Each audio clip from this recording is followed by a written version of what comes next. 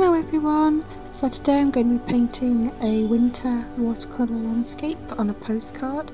So last year I didn't do a lot of winter paintings or Christmassy paintings, but um, well, I think I did one. I think I did exactly one, but this year um, I've got a lot of winter slash Christmas type paintings planned, so hopefully that'll be fun.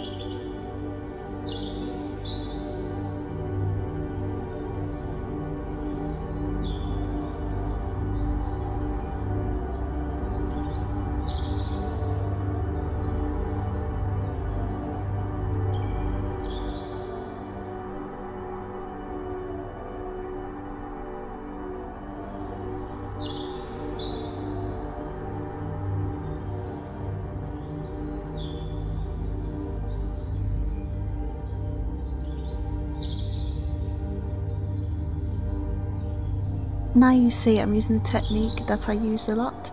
Um, it's where you just sort of splatter plain water onto the painting and uh, it's kind of like the salt effect without having the salt. I have tried it with salt but I've never managed to make it work but that's probably because I'm using the wrong type. So yeah, so um, that's what I'm doing here.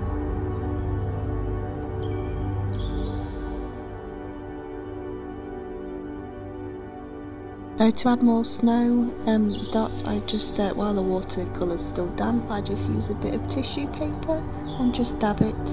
And as you can see, it does the bokeh effect.